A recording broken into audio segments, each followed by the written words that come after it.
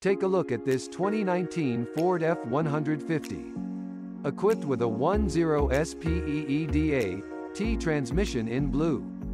This car comes with some great features including Android Auto, child safety locks, anti-lock brakes, Apple CarPlay and more.